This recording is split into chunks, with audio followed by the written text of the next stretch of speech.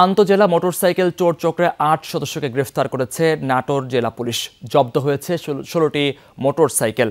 সকালে প্রেস ব্রিফিংয়ে পুলিশ জানায়, সিংড়া উপজেলার এক ব্যক্তির চুরি যাওয়া মোটরসাইকেল উদ্ধারে গিয়ে সন্ধান মিলে চক্রের। পরে এন্টি টেরোরিজম ইউনিটের সহায়তায় বৃহস্পতিবার রাতে সিরাজগঞ্জ ও পাবনা জেলার জেলায় অভিযান চালিয়ে আট সদস্যকে গ্রেফতার করা হয়।